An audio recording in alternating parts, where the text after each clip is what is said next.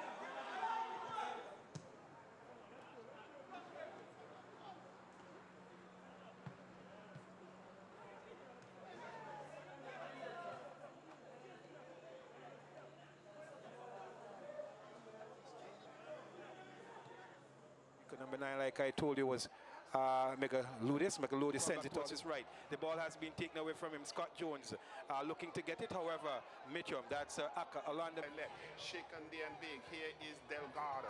Delgado number five with it for Puerto The ball being taken away there by Mitchum. Back to middle. Don't leave the Rudy's chance tonight. St. Lucia play very, very stubborn. Uh, St. Lucia, Paul. Paul seeking some assistance. Doesn't get the assistance that he wants. St. Kitts Nevis in position. The ball pushed forward. Williams seeking someone. Let's see. Tight, tight.